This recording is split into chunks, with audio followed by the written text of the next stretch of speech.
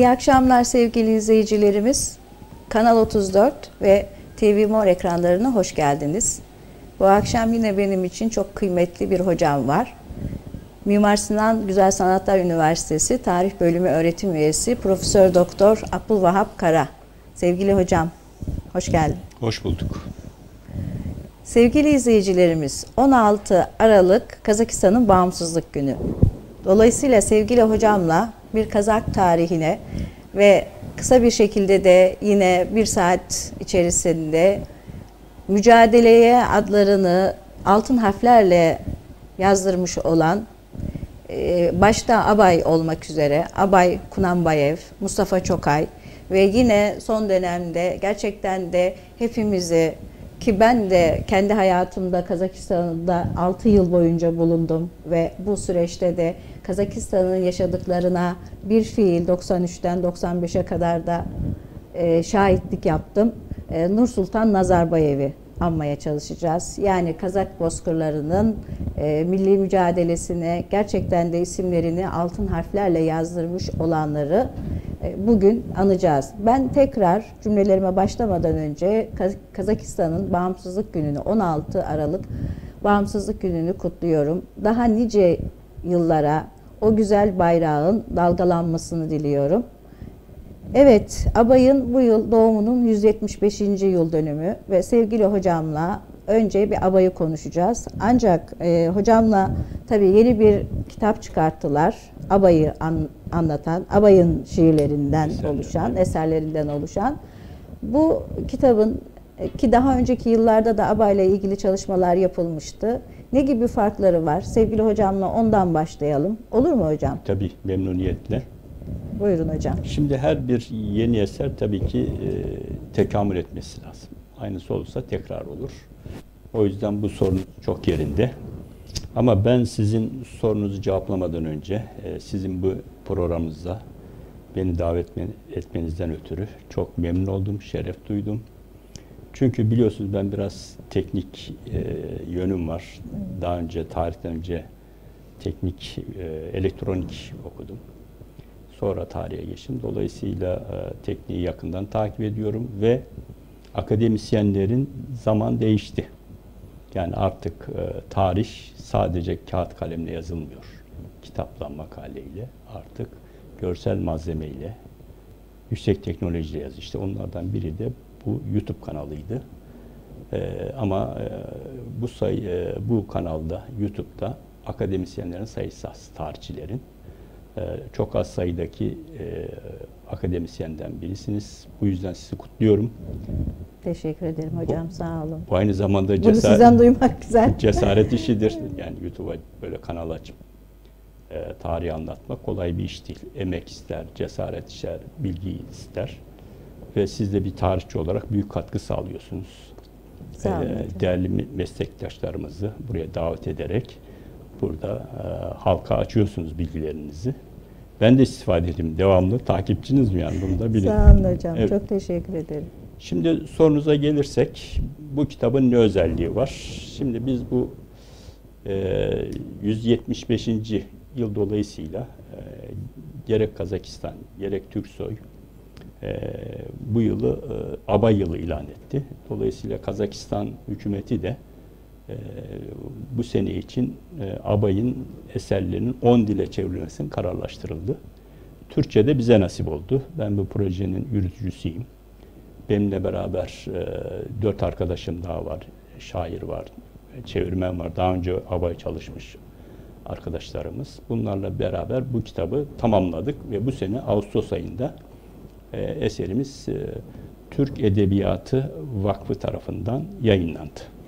Şimdi bunun diğer eserlerden farkı şu, iki temel özelliğini söyleyebilirim. Birincisi tabii ki biz daha önceki eserleri okuduğumuz için e, ufak tefek hataları göze çarpıyordu. E, ben e, bu hataları düzeltmeye çalıştım. E, onun dışında daha e, tercümenin daha uygun hale gelmesi için gayret, çaba sarf ettik. Bu olmazsa zaten bunu yayınlamanın anlamı yok. Alırsınız eskiden yapılmış çevirileri. Hemen basarsınız, okuyucuya sunarsınız. Ama işte ilim böyle bir şey. Devamlı tekamül edeceğiz. Şimdi benim bu eserde de arkadaşlarımıza yaptığımız mutlaka hataları vardır. Çeviri yanlışları olabilir. E, bizden sonraki e, arkadaşlarımız çalıştığı zaman bunları görüyorsa, doğrusunu biliyorsa onlar da bir diğer versiyonunu çıkartır. Ve böylece sağlıklı bir çeviri ortaya çıkmış olur. İkinci özelliği ise bundan daha önemli görüyorum. E, bu eser Abay'ın şiirleri ve kara sözleri dediğimiz nasihatlarından oluşuyor. Ama eserin yekününü şiirler tutuyor. Abay'ın hayatı boyunca yazdığı şiirler. Fakat bugüne kadar yapılan çeviriler hep normal bir çevirmen, şair değil. Dolayısıyla bunları dörtlü kıtalar haline çevirmiş ama yani bir şiir estetiğini çoğunda göremiyoruz. O ruhu belki de vermekte mi zorlanmış hocam? Tabii şair olmayan adam yapamaz. Yapamaz. Ben de çevirmenim. Hani bunu ben de çevirdim. Ama ben o şiirsel ifadeleri Kazakçadan aldım. Türkçe'ye şiirsel aktaramam. Çünkü şairlik yeteneğim yok. Doğru. Dolayısıyla biz buraya bir şairi de projeye kattık. Avşar. Yani bunun biz e, manalarını hocamıza verdik. Hocam bu şiirde şöyle deniyor. Hocamız bunu kendi şiirsel ifadeleri ortaya koyuyor. Bazen kafiye endişesiyle şiirden uzaklaştığı da oluyor şairin. Kafiye tutturmak için. O zaman diyoruz ki hocam burada anlatılmak istenen o değil. Burada ama şunu demek istiyor. Bu gözle şiire bakar mısınız diyoruz. E, şairimiz bir daha baktığı zaman o doğru ifadeyi kafiyeli olarak yakalıyor. Bu şekilde devamlı gitgellerle yapılan ter kontrol ederek anlam bütünlüğünü sağlayarak biz bu şiirsel ifadeyi yakaladık. Ama diyeceksiniz ki bundan önce Türk şairler bunu çevirmemiş. Evet çevirmiş ama hepsini birden değil. Bir şairimiz bir dergiye Abay'ın iki şiirini tercüme etmiş. Bir başka şi- şairimiz üç şiirini e, şiirsel ifadeyle yapmış. Ama bütün şiirleri Türkçe'ye bir şair tarafından aktarılmamış. Biz burada bunu sağladık. Tüm Abay'ın şiirleri burada şiirsel ifadelerle veriliyor. Ben yeri gelmişken bir şiir okuyabilir miyim? Tabii, lütfen yani hocam. Bu e, Türkçe şiir bakımından nasıl bir ifade var? E, bunu da burada görmeye çalışalım arkadaşlar. Ben burada bir şiiri çok hoşuma gider Abay'ın. E, bu Abay'ın bir güzel at tarifi vardır. Güzel at nasıl olur? Yani çünkü Kazak bozkırlarında Kazak insanı atı çok iyi tanır. Ee, burada Abaya göre bir güzel at nasıl olur şiiri var. Ee, onu ben e, size ve değerli seyircilerimiz için okumak isterim. Lütfen. Şiirin adı Topuz Perçem Kamış Kulak. Topuz perçem kamış kulak olsa at. Alın ceylan boyun kuzu tavşan çeneli. Baş omurga çıkık tüyleri ise kır. Göğsü iki pare kırpık yeleli. Kaburgası kavi güçlüyse beli. Teke burun sarkık dudak uzunsa dişi. Kıvırım kıvırım durur göğüs kasları. Doymuş kartal gibi kabarır döşü. Kalın tüysüz bileği, oval toynağı, dirseği gövdeden olursa az uzak, yere çok sert basar huysuz ayağı. Sal gibi dümdüzdür, etsiz cidağı. Geniş sağrı, şişkin but, incecik beli, gür tüyleri, toplu kuyruğu bağlı, eşitse önü ardı kolayca eğerlenir, makbuldür kalçası, baldırı yağlı. Diz kapağı altta olsa yuvarlak, etli, bir de kalın uyluk, tombul kalçası, sırtı yayla, bağrı ova gibi düz, bacak açık, iri iri dursa hayası. Köstekliği kalın, ince bilekli atla, yel gibi gidersin koşturduğunda. Bir de gözlerine at gözlüğü taksan, çadırın zikkesine bağlayıp baksan. Nefesi zorlanmadan, ayak sürçmeden, başını oynatarak şevkle koşmazsa, koşuda binekte hızlı ve uysal, kabul etmem böyle bir at olmazsa. Rahvana atılan kepi giydirir, koşarsa kendine kamçı vurdurmaz. Dört nala gelen at ardından yetişemez. Ah neden böyle at elime geçmez. Çok güzel. Ben yani diyorum Türk'ün gönlündeki atı Tabii. çok güzel tarif etmiş. bu at diyorum ki Joker kul- kulüplerinin şeyini bu yazı asılmalı. Aynen doğru. Evet. Doğru. Kalemine, gönlüne sağlık. Sevgili hocam, tabi abay dedik. E, abayı yetiştiren siyasi ortamdan da biraz e, bahsedelim mi? Rusların Türkistan'daki ilerlemeleri ve bu sürecin nasıl yaşandığı, daha sonra Alaşorda hareketi bunlarla ilgili de bilgi verebilir miyiz? Tabii şimdi dediğiniz doğru. Abayın yetiştiği ortam e, ortada. Çok sıkıntılı dönem. Bu dönem tabii 19. yüzyıl. Çarlık Rusya'nın hegemonyasının Orta Asya'da e, sert bir şekilde hüküm sürdüğü yıllara geliyor. E, Abay biliyorsunuz 1845'te doğdu, 1904'te vefat etti. Yani tam o Tam o e, dönem. dönem. E, Şimdi zaten belki de insanı bu tip e, düşünceye sevk eden, e, filozof yapan, şair yapan da bir yerde sıkıntılardır. Çünkü Abay'ın şiirlerine baktığım zaman e, çok dertleniyor. Özellikle o dönemdeki Kazak halkının yaşayışından, e, ilmin olmayışından, cahilliğin diz boyu olmasından hep e, şiirlerine baktığımız zaman hep uyarılarda bulunuyor. Hani ilme yönelmesini istiyor. İşte dedikodu, yalan, efendim e, toplumun birbiriyle uğraşmasını, didişmesini hep bunları eleştiriyor. Onun yerine ilme, bilme, çalışmaya, tembellikten kurtulmaya hep bunları ifade ediyor. Şimdi biz e, o günkü abayın yaşadığı döneme gittiğimiz zaman bunların izlerini görürüz. Neden böyle? Çünkü 19. yüzyılda biliyorsunuz hatta 20. yüzyılın başında Mehmet Akif'in şiirleri var o dönemle ilgili. Orta Evet. Asya'da çok eleştiriyor Mehmet Akif'te. Yani ilim biliminin yokluğu için. Çünkü o dönemde Çarlık Rusya halkın gözü açılmasın diye orada eğitim merkezlerini geliştirmiyor. Yani iptidai mektepler, ilkel mektepler. Yani halk orada e, fazla teknoloji bilmeyecek, ilim fen bilmeyecek e, ve böylece Çarlık yönetimine isyan etmeyecek. Böyle bir anlayışla, bir sömürge yönetimiyle elbette ki orada halk dünyadaki son gelişmelerden, teknolojiden haberi olmuyor. Hatta bu yönde biliyorsunuz İsmail Gaspral çıktı bir de. Değil mi? Tercüman gazetesiyle Evet, evet. e, halkı dünyadan haberdar etmeye çalıştı. O da bir ihtiyaçtan çıktı. Çünkü yok böyle bir şey. Onun ötesinde Gazprom ne yaptı? E, Yeni usulde mektepler açtı. Yani o Orta Asya halklarını, Rusya Türklerini ilme, bilme daha başarılı olmaları için yeni usulde yani cedidizm dediğimiz mektepleri açtı. İşte burada ne yaptı Çarlık Rusya? Ona karşı gelen tutucu mollaların hareketi olan e, kadimciliği destekledi. Yani cedizme karşı çıkan Evet. muhalif grupların, yani biz eski e, eğitimden memnunduk. İşte bu e, yanlış, bu gavur icadı vesaire gibi yersiz e, gerekçelerle karşı çıkan kadimistlerin tarafında oldu yönetim. E, bu da bize gösteriyor ki o dönemde Çarlık yönetimi e, Kazak bozkurlarında, Özbekistan'da, işte Türkmenistan, e, o dönemde Kırgızistan, tüm o Türk coğrafyasında e, insanların eğitimli, bilimli olmasını istemedi. İşte biz abayın e, bu yokluğu, bu ihtiyacı hissederek toplumun kalkınması, yükselmesi, ilme, fenne daha çok önem vermesi için bu şiirleri kalem aldığını söyleyebiliriz. Bir de Kazak bozkurlarında e, şiire çok önem verilir. Yani e, biliyorsunuz bozkur Evet. hayatı değil mi? Bu Evet. sözel gelenekler çok e, gelişmiştir. Hatta sözel edebiyat çok gelişmiştir. Jırlar.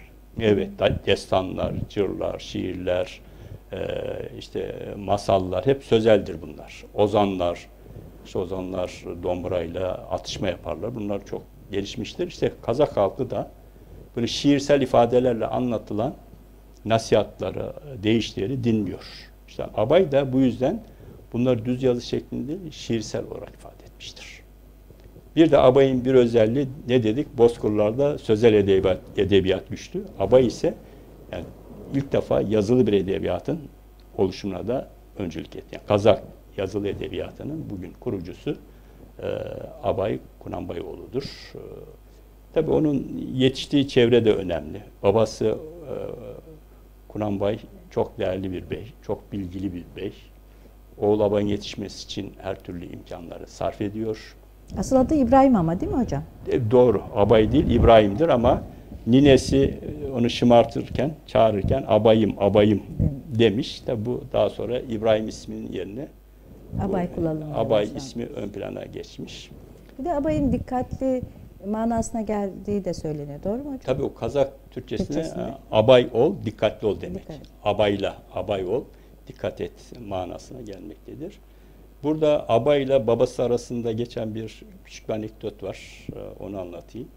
Şimdi abay zaman içinde e, çok meşhur oluyor. Çünkü şiirleri gerçekten çok etkileyici, çok e, dili çok kıvrak kullanıyor.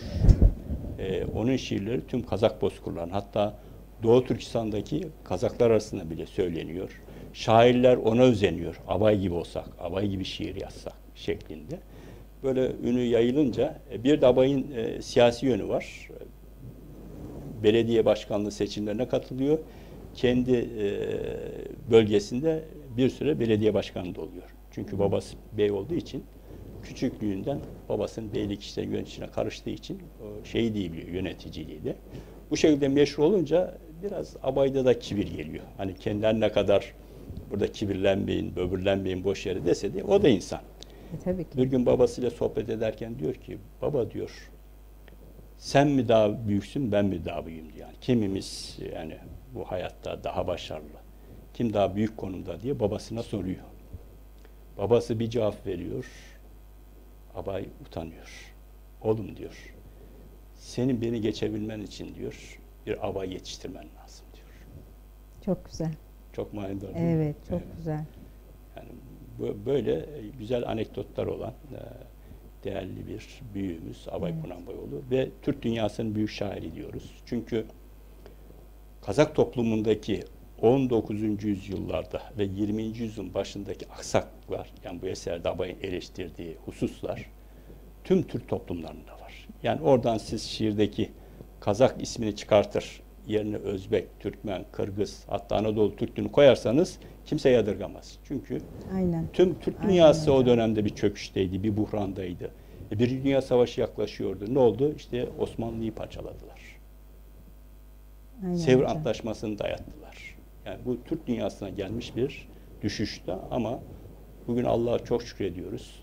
91'den sonra e, o eski Rusya, sonra Sovyetler Birliği olan e, hegemonyadan hepsi bağımsızlığını ilan ettiler. Beş cumhuriyet bağımsızlığına kavuştu.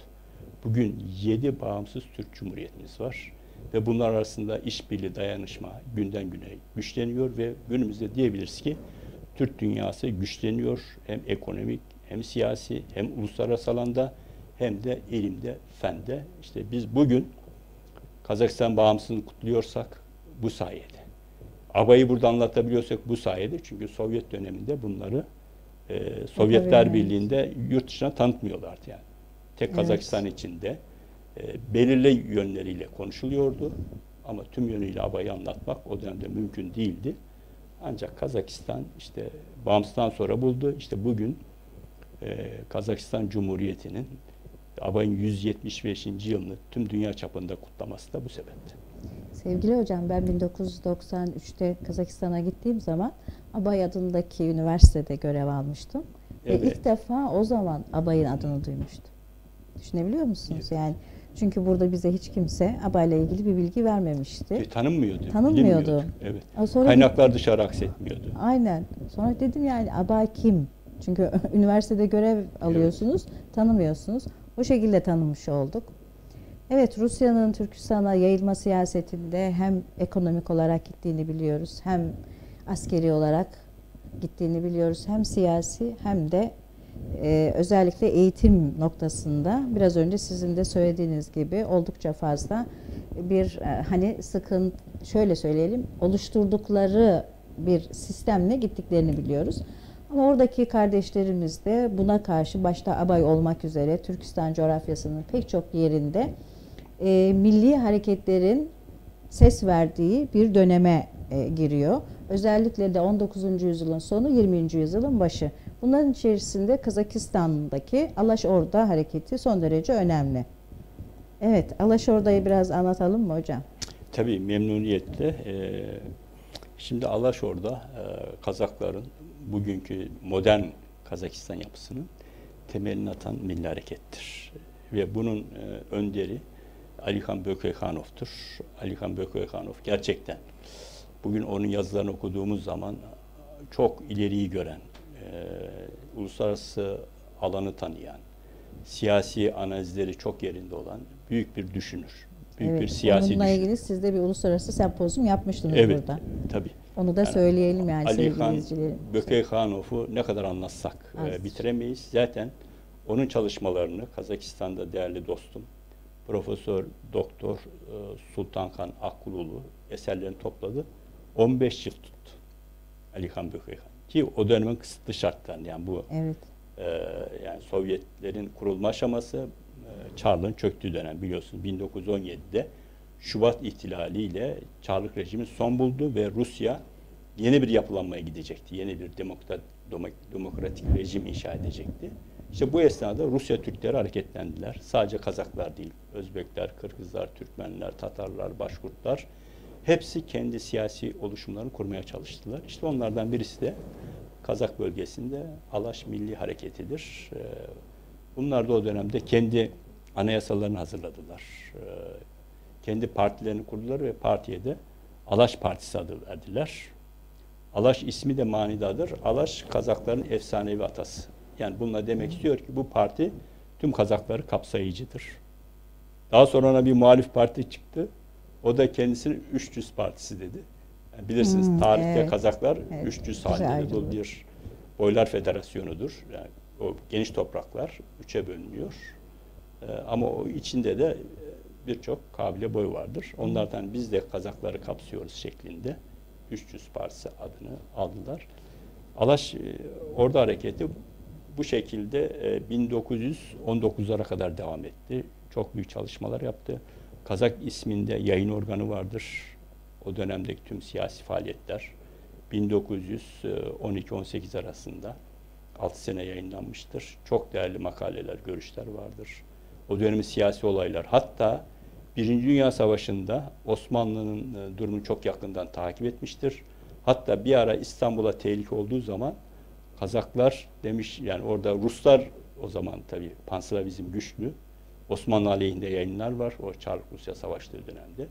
İşte gideceğiz Ayasofya haç dikeceğiz şeklinde e, makaleler çıkıyor. Bunu okuyan Alaş liderleri biz o zaman yardım etmeliyiz Türklere şeklinde bir hareket topluyorlar ama tabii asker olup gitmek zor. O zaman para toplayalım diye o dönemde kendi aralarında altın toplayıp bunu da o dönemde e, Mustafa Çokay e, dönemin e, Petersburg'daki büyükelçisi Turhan Paşa'ya götürüp veriyor. Yani bu şekilde o gazete tüm dünya olaylarını, Türk dünyası olaylarını ifade ediyor, ortaya koyuyor. Evet Mustafa Çokay. Tabii Mustafa Evet. Çokay hocamın doktora tezi. Mustafa Çokay'la ilgili de hocam biraz bilgi verelim mi? Çünkü Mustafa Çokay'da Alaşorda'nın yanlış hatırlamıyorsam sevgili hocam daha sonraki süreçte 1930'lu yıllarda değil mi? Rusların basmacı hareketi dedikleri ama bizim korbaşılar Evet. dediğimiz yine Rusların Türkistan'da uygulamış oldukları bu asimilasyon politikasına karşı çıkan işte korbaşıların da epey bir destek verdiklerini ve üyelerin onların içerisine katıldıklarını ben hatırlıyorum. Değil mi? Yanlış hatırlamıyorsam eğer. Çünkü Mustafa Çokay e, Alaş Milli Hareketi'nin e, mensubudur. Ve onu ben diyorum ki e, Alihan Bökeyhanov'un demin bahsettiğimiz onun siyasi öğrencisidir.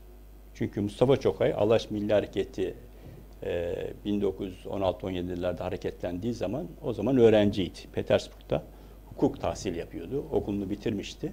Hatta Zeki Veridi Togan Hoca ile Rusya Duması'nda Türkistan bürosunda çalıştılar. Yani o Türkistan bölgesindeki sorunları toparlayıp bunlar Rusça'ya çevirip Duma'daki milletvekillerine veriyordu. Onlar da parlamentoda okuyorlardı. Bir de ben yanlış hatırlamıyorsam yine hani hocadan başka Radloff'un da dikkatini çektiğini biliyorum. Yanlış mı hatırlıyorum? Evet? Radloff da Radloff, öğrenciyken dikkatini çekiyor. Çekiyor. Çok çalışkan, çok zeki. Diyor ki evladım gel seni diyor e, şey Birlikte. alalım. Dil edebiyatı, Evet. filolojiyi alalım. Hani sen hukuku bırak. Evet. Hani sen bu işlere daha yatkınsın. Çok ay diyor bu e, teklifini seve seve kabul ederdim ama benim bir misyonum var. O zaman Çarlık dönemi işte o Rus mahkemeleri Kazak halkının e, haklarını gasp ediyor. İyi dil bilmedikleri için, avukatlar olmadığı için haklı davaları kaybediyorlar. O boşluğu görünce o avukat olmak istiyor. Ya benim de böyle bir misyonum var. Hani benim böyle bir misyonum olmasaydı seve seve kabul ederdim diyor. Ama okulu bitirdiği zaman artık Çarlık Rusya çökmek üzereydi. İşte onun o yeteneklerini Bökeyhanov da fark ediyor ve genç Çokay'ı Alaş Milli Hareketi'ne çekiyor. İşte Türkistan Duma'da, Türkistan bürosunda çalıştırıyor. Ve ondan sonra da Şubat İhtilal patlak verip e, Çarlık Rusya çöktükten sonra Mustafa Çokay'ı Taşkent'e gönderiyor. O zamanlar Orta Asya genelde ikiye bölünmüş durumda. E, Çarlık Rusya'nın yönetimde kuzey kısmına işte e, Bozkır genel valiliği, e, güney kısım Taşkent, Özbekistan bugünkü Kazakistan'ın güneyi de Türkistan. e, orada Türkistan genel vali olarak bölünmüş. Bu idari çerçevede Alaş Milli Hareketi kuzeyde Bozkır Valiliği sınırlarında faaliyet gösterirken Alikan Bökeyhanov onu Taşkent'te, o Türkistan'da bölgesinde de çünkü e, epey bir Kazak yaşıyor bölgede. Bugünkü Kızılorda dediğimiz, Çimkent dediğimiz, Cambıl dediğimiz vilayetler o dönemde o güney. Oradaki Kazakların menfaatini korumak için Mustafa Çokay sen diyor Taşkent'te görev yapacaksın. Oradaki oluşumlara katılıyor ve bunun neticesinde Özbekler, Türkmenler, Kazaklar orada bir Türkistan muhtariyetini ilan ediyorlar. Onun da Cumhurbaşkanı Mustafa Çokay oluyor. İşte burada dediğiniz gibi Korbaşlılar Mustafa Çokay'ı çok seviyorlar. Onlarla birlikte hareket ediyorlar ama işte kısa sürede e, Bolşevikler e, bu oluşumu yok ediyorlar. Orduyla üzerlerine giderek yok ediyorlar. Bunun üzerine Mustafa Çokay siyasi faaliyetlerini devam ettirmek için yurt dışına çıkıyor. Ve 1921'de e, Türkiye üzerinden Paris'e geliyor. Paris'te ölene kadar 1941'e kadar burada siyasi anlamda faaliyet yürütüyor ve Mustafa Çokay'ın davası da sadece Kazakistan değildir. Mustafa Çokay tüm Türkistan'ın bağımsızlığı, birleşik bir Türkistan ideali var.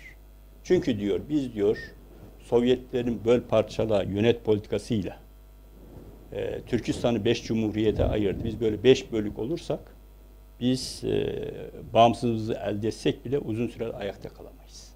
Çünkü etrafımızda büyük devletler var.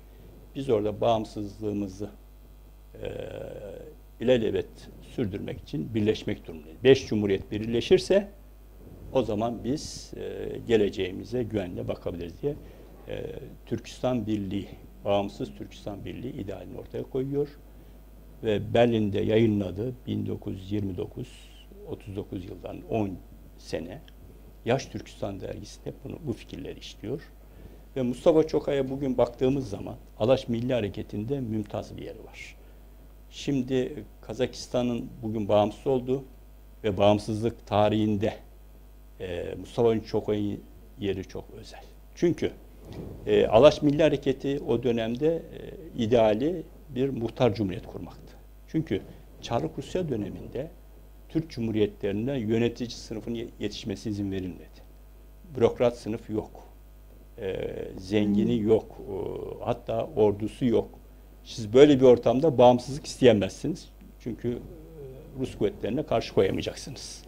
O yüzden haklı olarak Alaş, Türkistan muhtariyet hep bunlar önce muhtar olalım, eksiklerimizi tamamlayalım, ilerleyen süreçte bağımsıza ulaşırız şeklinde bir aşama aşama bir projeleri var.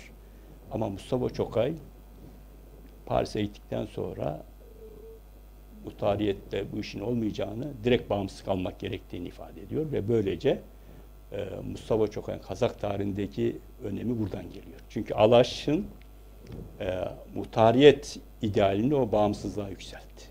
Bu açıdan Hem baktığımız bağımsızlığa hem de birleşmiş bir Türkistan Evet. düşüncesine. Peki hocam e, bu düşünceyi ileri sürdüğünde onun e, karşısında ve yanında kimler vardı? Yani bu düşünce bir e, sahada karşılık bulabildi mi? buldu ama tabii o saha yurt dışı. Çünkü Yurt. Sovyet sisteminde çok aynı fikirleri oraya dağıtılır. Çünkü biliyorsunuz Sovyetlerde büyük sansür var. büyük komünist propaganda var. Sovyet ideolojisi devamlı propaganda ediliyor. Onun eleştiren, onun alternatif fikirlerin Sovyetlerde dağıtılması yasak. E, bunu yapmaya çalışanlar da halk düşmanı, pantürkist, Turancı, Türkçü, yok Amerikan ajanı, yok Japon ajanı gibi yersiz suçlamalarla hemen sürgüne gönderiliyor. Hatta idam edildiği de oluyor ama yurt dışında büyük rağbet buluyor. Çünkü o zaman şöyle diyebilir miyiz? Sözünüzü yani Tabii kusura bakmayın kestik de. Yani Mustafa Çokay aslında bu davayı daha ziyade yurt dışında bilinebilir kılmak için uğraştı. Çünkü Türkistan'da bunun e, ulaşamayacağını biliyordu. Böyle bir şey söyleyebilir miyiz? Söyleyemeyiz. Bu yurt bu bir tanıtım malzemesi değildir. Bu milli mücadeledir. Sen mücadeleni hangi şart, hangi husus olursa olsun yayarsın. İmkanlar ne olursa Nerede olsun. olursa olsun. Tabii tabii. Şimdi ne oldu? O idealler boşa gitmedi. Bugün Sayın Nursultan Nazarbayev e, Mustafa Çokay'ın idealine sahip çıktı. 2002'de bu Türkistan, bağımsız Türkistan Birliği'ni o modernize ederek Orta Asya Birliği şeklinde ilan etti. Bir e, devlet başkanı olarak. Ama maalesef o günün şartlarında diğer cumhuriyetler e, bunu değerini anlayamadı. Çünkü Maalesef. e, Sayın Nazarbayev de dedi eğer biz bir birlik oluşturamazsak bu şekilde beş ayrı cumhuriyet olarak kalırsak günün birinde bir büyük gücün tekrar bizi sömürgeleştirmesini beklemiş oluruz dedi. Onun için biz güç birliği etmemiz lazımdır diye. Yani görüyorsunuz Mustafa Çokay'ın ideali ne oldu? Ee, bağımsızlıktan sonra tekrar e, gündeme geldi. Kazakistan bunu kabul etti ama e, zamanla göreceğiz. Diğer cumhuriyetler de bunun önemine farkına varacaklar. Bu ideal gerçekleşecek. Çünkü başka çıkar yok. Yok. Mustafa Çokay duygusal bir insan değildi. Mustafa Çokay e, hocası e, Alikan Bökekanov gibi akılcıydı, analizciydi. Bütün o bilgileri, analizleri verilere dayanırdı. Bir şekilde Sovyetler Birliği'ne çıkan gazete dergileri sıklıkla okurdu. Oradaki verilerden yola çıkarak analiz yapardı. Dolayısıyla Mustafa Çokay aynı zamanda bir düşünce adamıdır, bir aksiyon adamıdır ve fikirlerini de bu milli mücadele için e, yazmıştır. Ve o dönemin kısıtlı imkanında belki Sovyetler de bulamadı ama bağımsızlıktan sonra bugün gündemdedir. Daha sonra da gündemde olacaktır. Çünkü başka çözüm yolu yok. En akılcı yol Mustafa Çokay'ın yoludur. Mustafa Çokay'ın diğer bir önemli hususu, bakın akılcılığına örnek vereyim. Biliyorsunuz İkinci Dünya Savaşı'nda Nazilerin bir Türkistan Lejyonu projesi vardı. Evet. Yani bununla Naziler ne yapmak istedi? Sovyetler Birliği'nden esir düşen Türkistanlı askerlerden gönüllü kıtalar oluşturarak bunu Sovyetlere saldırtmak istedi. Ve onlara da bağımsızlık vereceğini iddia etti. İşte Mustafa Çokay Paris'teyken e, yakalanıp bu esir kamplarına götürülüyor. Ve kendisine de bu yeni o zaman proje aşamasında bu projenin başında kumandan olması isteniyor. Ama Çokay hemen reddediyor. Hayır diyor. Ben diyor bu projede yer almam. Eğer siz Türkistanlara iyilik yapmak istiyorsanız bunları savaşa sokmayın. Bunları alın, yüksek tahsile gönderin, eğitin. Daha faydalı olacak diyor. Ama tabii Naziler bunu kabul etmiyor. O zaman Mustafa Çokay da diyor ki beni serbest bırakın. Ben size çalışmayacağım, evime gideceğim diyor. Peki evine git diyor. İşte bu esir kamplarından Paris'e giderken Berlin'e gelerek aniden ölüyor. İşte burada akrabaları, eşi Mustafa Çokay'a zehir verildiğini, Naziler Evet. tarafından öldürüldüğü ifade ediliyor. Tabi bunlar daha sonra belki mezarı açılmak suretiyle e, bir e, tıbbi bir analizle e, delillenecek ifadeler. Çünkü Naziler hayır bu esir kampında işte bulaşıcı e, tifo hastalığına yakalandı. Oradan öldüğü gibi bir bahane ileri sürüyorlar. Ama ne oldu neticede? Sovyetler Birliği Mustafa Çokay'ı Sovyet döneminde bu fikirleri tutulmasın diye hain ilan ettiler. Faşistlerle, Nazilerle işbirliği yapan vatan hainleridir. Halbuki işbirliği yapmamak için öldürülüyor adam. Evet. Bu büyük bir iftiradır Mustafa Çokay'a yapılmış olan. Ee, dolayısıyla biz tarihin gerçeklerini e, iyi bilmek durumundayız, iyi araştırmak durumundayız. Nitekim daha sonra biz doktora tezimizde bunu da ifade ettik. Yapılan araştırmalar Nazilerin eğer Sovyetlere yenilgiye uğratmış olsalar bile Türkistan'a bağımsızlık vermeyeceğini ve Bolşeviklerden daha kötü ve vahşice sömüreceklerini gösteriyor. Yani Mustafa Çokay haklıydı. Çünkü o dedik bir siyasi düşünce adamı. 1921'den beri Avrupa'da Nazilerin yükselişini görüyor, ideolojisini görüyor ve bunların Türkistan'a bağımsızlık vermeyeceğini anlıyor ve reddediyor ve adam da haklı çıkıyor. Evet, gerçekten öyle. Evet, e, yani Allah tabi rahmet eylesin Amin. Gani Gali hepsi için. E, Sovyetler Birliği'nin yıkım süreci, süremiz de gittikçe azaldığı için sevgili hocam, yakın Evet. dönem bir Kazakistan tarihine Sovyetler Birliği'nden sonraki e, döneme de e, girecek olursak, ben tabi 1993 yılında gittiğim için şunu söyleyebilirim. O dönemi orada e, hani değişim sürecini çok iyi yaşayanlardan bir tanesiydim. Şöyle söyleyeyim.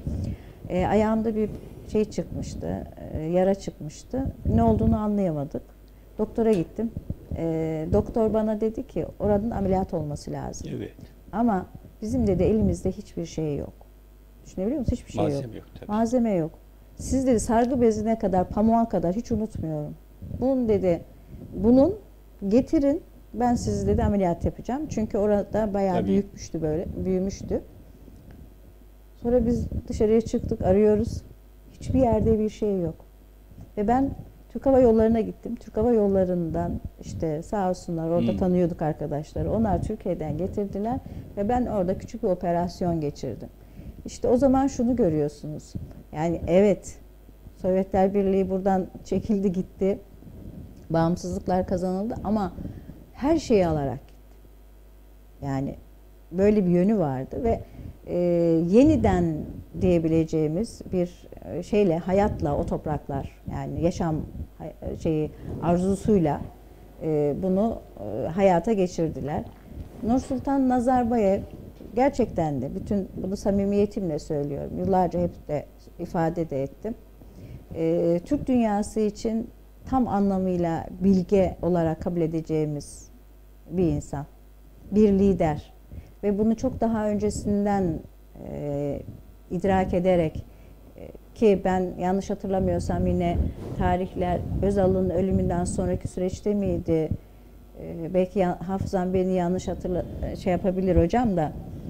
Ama Süleyman Demirel dönemindeydi. Türkiye'ye gelmişti ve bir meclis konuşmasında işte sizin de biraz önce söylediğiniz gibi bir birlikte hareket etme gerektiğini, hep beraber bir araya gelirsek ancak bunu başarabiliriz dediğini e, çok iyi hatırlıyorum. Ama e, maalesef biz e, bu noktada bütün Türk Cumhuriyetleri olarak yani o dönemde yaşanmışlıklar üzerinden değerlendirdiğimiz zaman, geçmiş tarihe baktığımız zaman birlikte hareket etmenin geçmişten günümüze e, yine tek çıkar yol olduğunu düşünüyorum. Şahsi kanaatim öyle. Yani bir Türk dünyası kültürel birliğinin bütün aşamalarıyla gerçekleşmesi e, yönünde hani kendi e, düşüncemin onu öyle olduğunu söyleyebilirim.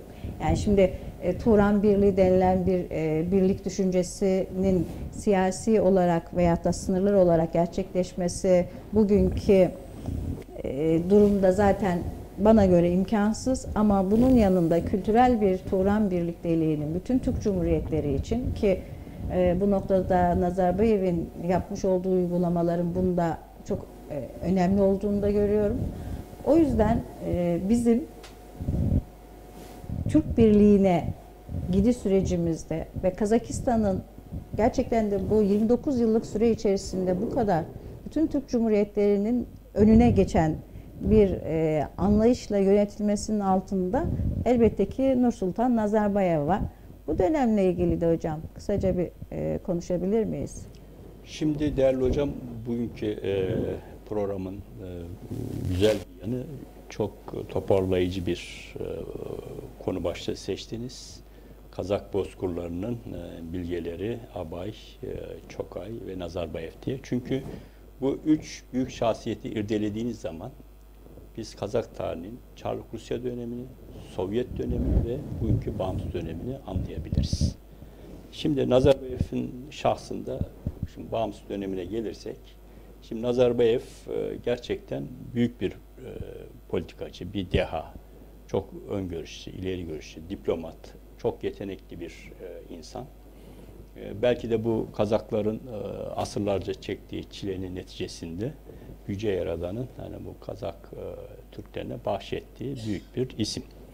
Şimdi Nazarbayev'in e, genel baktığımız zaman ben e, iki e, anlamda tarihte altın harflerle yer alacak. Birincisi Kazakistan'ın bağımsızlığı.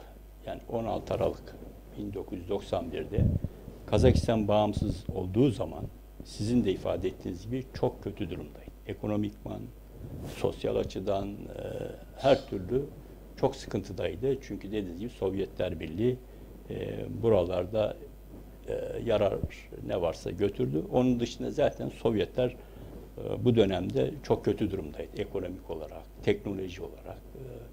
E, zaten o yüzden de bu e, devlet battı. Dolayısıyla e, Kazakistan bağımsız ilan ettiğin zaman ben Almanya'da gazetecilik yapıyordum. O zaman e, yorumları okudum. Bazı batılı uzmanlar, Orta Asya uzmanları şöyle diyordu.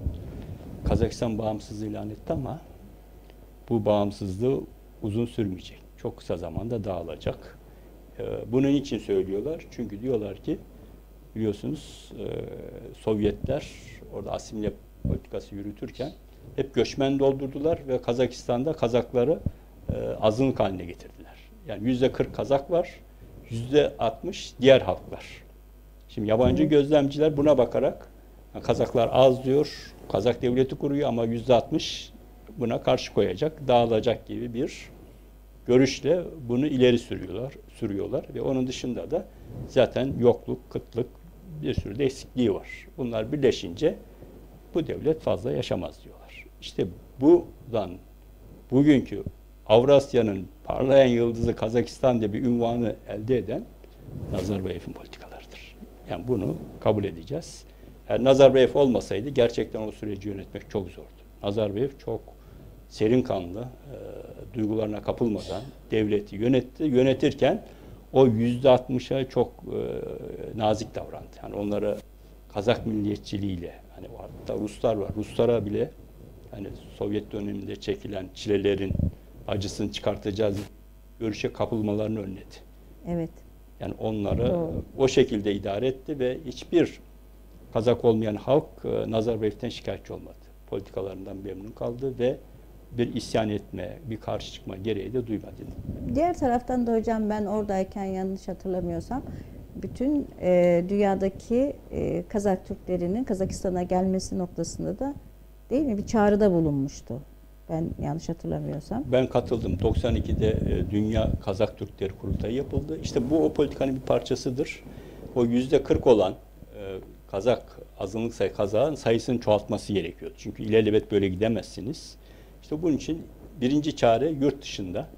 Bugünkü rakamlarla 5 milyon Kazak yaşıyor yurt dışında. Bunları peyderpey Kazakistan'a e, almakta ve bugün yaklaşık 1,5 milyon civarında e, Kazak e, dönmüş durumda. Evet, Türkiye'den de biraz gitti. Bu şekilde e, nüfus artmaya başladı. Doğum oranları yüksek Kazaklarda.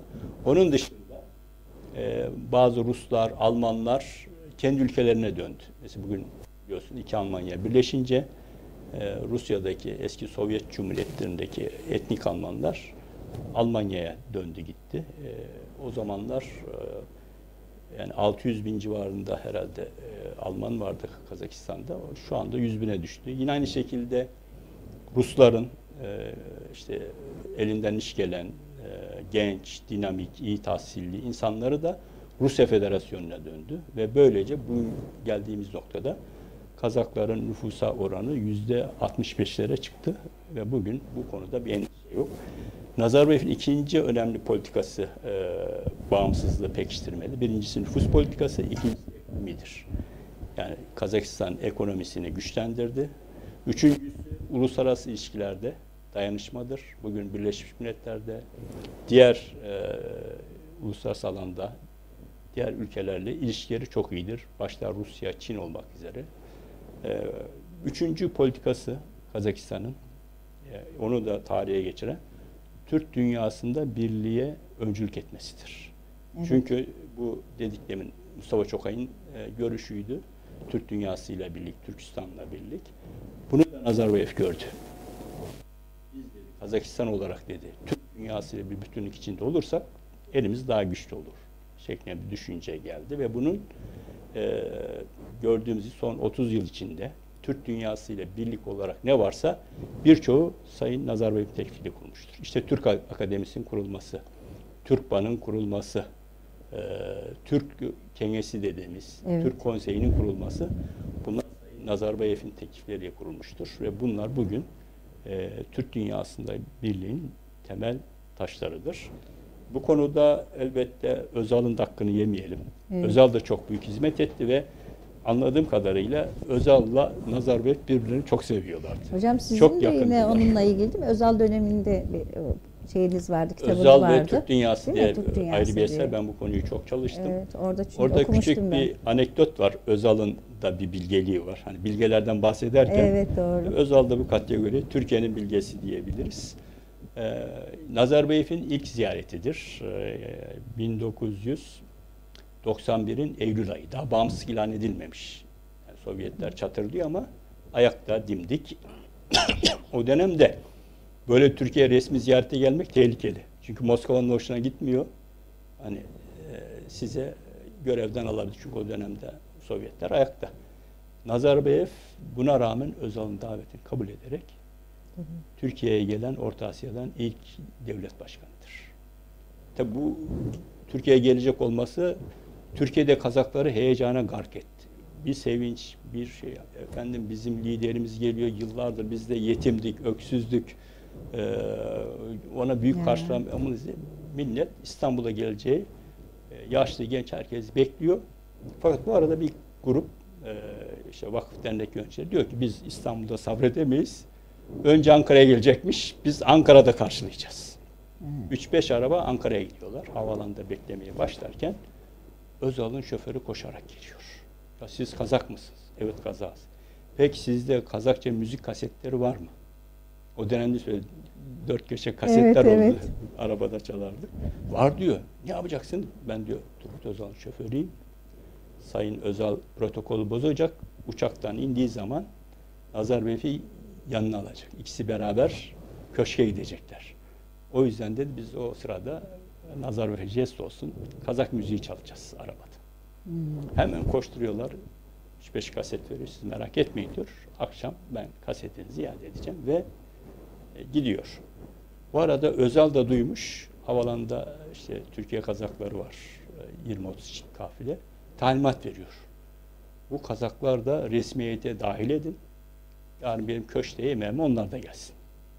Ve bizim hemşeriler akşam köşke gidiyorlar Sayın Özal'ın yemeğini. E, gidince şoför koşup geliyor, kasetleri iade ediyor. Onlar da merakla soruyorlar. Ya ne oldu? Müzik dinlettiniz mi Sayın Nazım? Evet diyor. Sizin diyor Cumhurbaşkanınız çok e, esprici bir insanmış. Sayın e, arabayı iki lider oturunca Özal bana işaret yaptı. Ben de kaseti teybe sürdüm diyor. Hoş bir Kazak musikisi arabanın içine dağılınca diyor. Nazar şöyle bir etrafına baktı. Ne o? Ben e, Ankara'ya geldim zannediyordum yoksa hala Almatı'da mıyım demiş. işte o zaman herhalde bu sözü için ayarlamış Sayın Özal. Evet. Hemen taşı yedine koymuş. Sayın Cumhurbaşkanı demiş. Türkiye'de sizin vatanınız, yabancı yerde değilsiniz. Kendi vatanınızdan. Diyerek Türk dünyasındaki birliği bu şekilde ifade etmiş. Biliyorsunuz Sovyet döneminde öyle bir şey empoze edilmiş ki Türkiye sanki Almanya, Fransa gibi yabancı bir devlet. Hiçbir Türk'le alakası olmayan. Özbekler farklı millet. Evet, bu empoze evet, edilmiş. Yani evet. biz 90 yıllarda çok duyduk. Ya Türkiye'nin biz kardeş ülke olduğunu bilmiyorduk şeklinde.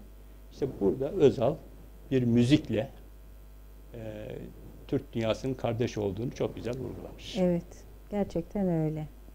Doğru hocam. Evet, Nazarbayev'le ilgili söyleyecek çok sözler var. Yani gerçekten bilgeliğiyle bu e, Türkistan'daki Türklerin e, birlik ve beraberlik içerisinde yaşayabilmesi için onun attığı adımlar önemli. Ben e, bir gün televizyonda çok işte hepimiz televizyona kilitlenmiştik Nazarbayev çıkacak diye. O zamanlar tabii çok kötü gözüküyordu. E, telefon, televizyonlarımız o kadar da iyi değildi. Ve şöyle söylemişti.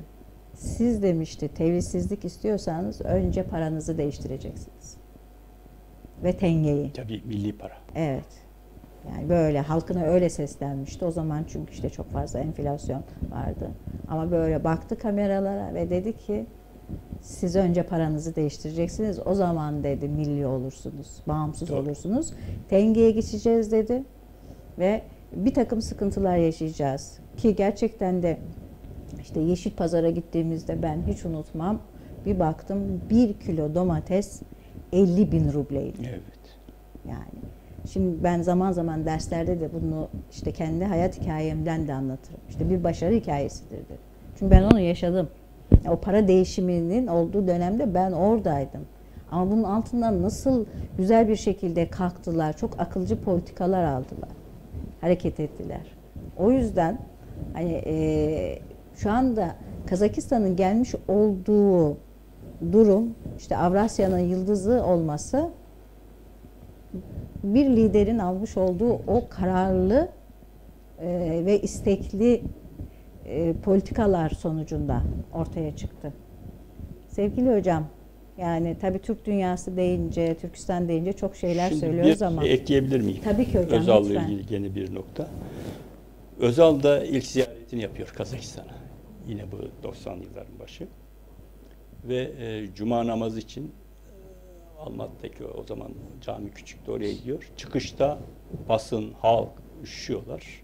İşte basın sorular soruyor. Bir tanesi diyor ki Sayın Özal diyor Türkiye'de ne kadar kazak var? Yani o, o günün şartlarında ilk bir 10-15'in kazak var. Ama Özal şöyle diyor. Türkiye'de diyor 60 milyon kazak yaşıyor. O zaman Evet, Türkiye evet. nüfusu 60 milyon. Evet, yani doğru. orada da yine Doğru, doğru. Türk, e, Kazak, Türk dünyasının kardeşliği. Birbirinden ayrı gayrısı yok. Yani hepimiz Kazağız, hepimiz Özbeyiz, hepimiz Türküz. Birbirimizden ayrı değiliz. Ama tabii ki kendimizin mahalli, bölgesel isimlerimiz olabilir. Buna çok güzel vurgu yapmış. Bu halen Kazakistan'da anlatılır. Evet. Bir de Kazakistan'da hem Almatı'da hem de e, Türkistan'da da Özal Caddesi diye cadde var. Tabii Yani ona da dikkat Evet, Özal'ı etmişler. çok seviyorlar. Çok seviyorlar. Çok seviyorlar. Evet. Biz gittiğimizde herkes böyle Özal'la ilgili konuşuyordu. işte soruyorlardı. Özal'a karşı büyük bir muhabbetin olduğunu bizler de biliyoruz. Sevgili hocam son cümlelerinizi alalım. Şimdi ben özellikle gene teşekkür etmek istiyorum bana bu fırsatı verdiniz. Ee. Bugün e, önemli üç e, bilgi üzerinde konuştuk. Abay, Çokay ve Sayın Nazarbayev. Tabi bunları biz ne kadar anlatsak bitiremeyiz. Evet. Ee, ama en azından e, dinleyicilerimize bir e, onlara bir konuda fikir verebildiysek o dönem hakkında, bu şahsiyetler hakkında kendimizi bahtiyar sayacağız. Çünkü çağımız internet çağı, kitap çağı. Bu konuda geniş bilgiler hem internette var hem bu şekilde bizim yayınladığımız kitaplarda var. Benim e, özel ilgili de kitabım var. E, çok ile ilgili kitaplarımız var. Veya başka yazarların da çok güzel eserleri var. Ee, inşallah faydalı olduysak ne mutlu bize. Hocam şeref verdiniz. Gerçekten de ben çok teşekkür ediyorum. Çünkü Türk, Türkiye'de Türk dünyasına yönelik bir e, milli bilincin daha fazla artarak devam etmesini hem ümit ediyorum hem de öyle olduğunu da görüyorum. Çünkü bizim e, o Türkistan bozkırlarından Tuna boylarına kadar getirdiğimiz kültürel değerlerimiz o coğrafyada aynen devam ediyor, bu coğrafyada da. Bu birlikteliği hep beraber hani bizler hoca olarak elimizden geldiğince e, yaşatmaya ve söylemeye. Çünkü yani abayı söylediğiniz zaman ben yayın öncesinde de size söylemiştim. İlk gittiğim şehir Karagada, Karagada, Karaganda'ydı. evet. Ve e, orada işte kitapçıya gittim. Kitapçıda e, bize bir Kazak kızımız götürmüştü. Put Abaya'yı gördüm. Ve onu satın almıştım. Abay yolu yani romanı. Abay yolunu Evet. satın almıştım. Ama hiçbir şey Bir olduğunu kısa bilgi vereyim. aldım. Hani, dinleyicimiz bilmeyebilir. Abay yolu Abay'ın hayatını alan, anlatan Evet. epik bir romandır. Sayın Evet. Muhtar Avezov tarafından yazılmıştır. Yani o romanı okuduğunuz zaman hem o dönemin hayatına vakıf oluyorsunuz. Kazak Evet. adetleri, örf adet, siyasi yaşantısı hem de Abay'ı çok iyi bir şekilde anlıyorsunuz. Evet, işte Rusçam biraz ilerlemeye Evet. başladığı zaman oradan okumuştum ben Abay Evet. yolunu. Ve e, insanı çok farklı yerlere götürüyor. Gerçekten de öyle. Her biri, yani Abay, Mustafa Çokay, e, ve e, Alimhan e, ve Sayın Nazarbayev hepsi aslında sayfalara sığmayacak meşaleler yazarak yazdılar ve yazmaya da devam ediyorlar. Bize düşen onlara, onları hatırlamak ve onlarla ilgili e, işte yapabileceğimiz ne varsa yapmak. Ben e, Türklük bilinci noktasında duvara bir tuğla koyanları, bir taş koyanları her daim için bizim hatırlamamız gerektiğini söylüyorum. En e, belki tarihin saklı kalmış yerlerinde olanları da ortaya çıkartmak açısından bunun ön- önemli olduğunu düşünüyorum. Sevgili izleyicilerimiz, Abdülvahap Hocam hani sağ olsunlar kendileri çok fazla ifade etmediler ama gerçekten de e, bu noktada Türk dünyasının ve özellikle Kazakistan'daki e, bu tür e, bilinçlerin oluşmasında Türkiye'de elinden gelen her türlü gayreti gösteren ilim adamlarımızın başında geliyor. Ben her yönüyle hocamı her zaman takdir ettim. Gerçekten de çünkü e, biz de bu konularda bir şey olduğu zaman hemen hocamıza müracaat ediyoruz. O da elinden geldiğince bize yardımcı oluyor. E, Türk'ün adı Kazak Türk'ü, Özbek Türk'ü, Türk, e, işte Kırım Türk'ü olabilir ama bizi bize bağlayan, bizi biz eden en önemli vasfımız bütün dü- dünyada Türk olmamız. E, Türklüğün ilelebet yaşaması ve yaşatılması dileğiyle kardeş, dost ve her daim söylediğim gibi ikinci vatanım olarak gördüğüm Kazakistan'a daha nice bağımsız yıllar e, yaşaması dileğiyle diyor. Tekrar hocama teşekkür ediyorum. Ben de iyi yayınlar diliyorum bundan sonra. Sağ olun hocam. Haftaya görüşmek üzere. Bu haftalık da bizden bu kadar. İyi akşamlar sevgili izleyicilerimiz.